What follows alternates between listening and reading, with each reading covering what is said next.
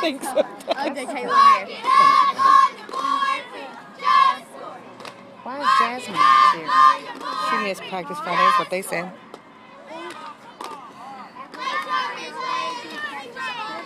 Because she was sick.